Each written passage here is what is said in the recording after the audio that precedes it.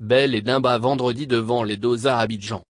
Alors qu'ils sont de plus en plus nombreux à douter des chiffres officiels et à s'interroger sur les conséquences d'une vaccination, les USA ont importé plus d'un million de doses, un 185-130, NDLR, de solutions Pfizer, entreprise américaine, NDLR, à armes messager, censées être efficaces contre la Covid-19, maladie anecdotique en Côte d'Ivoire avec un taux de létalité officiel de moins de 0,4%. Si aux USA ils appellent à l'injection d'une troisième dose, pour des raisons ignorées, en Côte d'Ivoire l'ambassadeur américain appelle à administrer les doses offertes via l'initiative COVAX, au plus vite.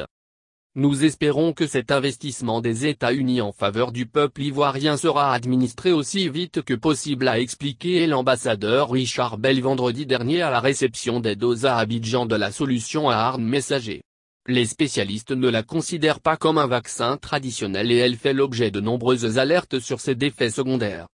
Après bientôt deux ans d'observation et de matraquage médiatique, cette maladie venue de Chine n'a pas trouvé en Côte d'Ivoire un terreau favorable.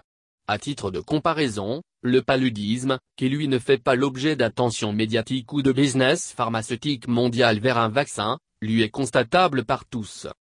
C'est en ce sens, que du 2 août au 4 septembre 2021, le gouvernement américain soutiendra le gouvernement ivoirien dans la mise en œuvre de la deuxième campagne de pulvérisation intradomiciliaire, IR, Indoor Residual Spraying, contre le paludisme en Côte d'Ivoire.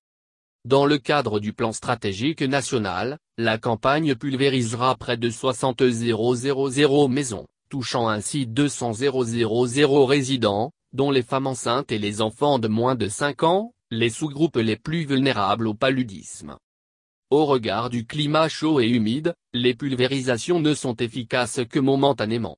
Une fois l'effet passé, les moustiques réapparaissent aussi vite.